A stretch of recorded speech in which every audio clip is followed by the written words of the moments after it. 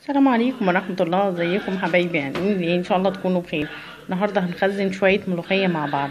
أول حاجة أنا جبتها وغسلتها كويس من الرمل نشفتها وبعدين حطيتها في الصينية دي.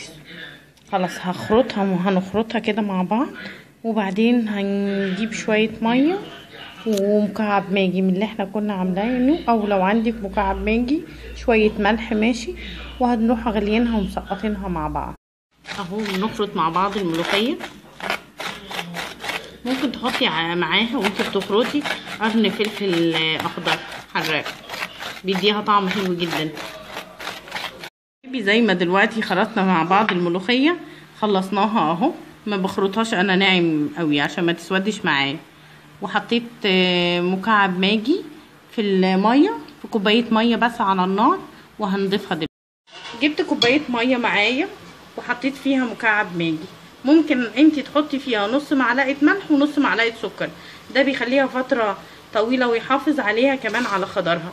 هنحطه زي ما أنتم شايفين كده. هنفضيه وندوبه. إحنا بس عايزين ندوب المقدار بتاعنا. وهنطفي على المية على المية على طول على الشوربة دي.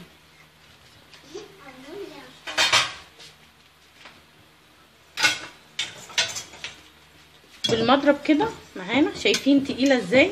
أنا بس عايزة مادة كده عشان تحفظها.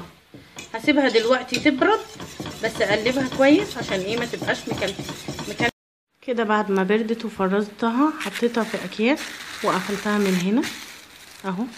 قفلتها جبت فوطة خفيفة وحطيتها من تحت وفوق وكويت عليها.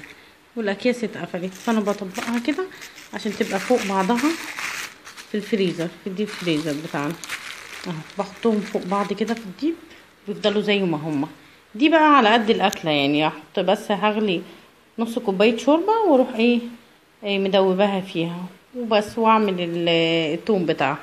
يلا إن شاء الله فيديو النهارده يكون عجبكم تستفادوا منه. السلام عليكم.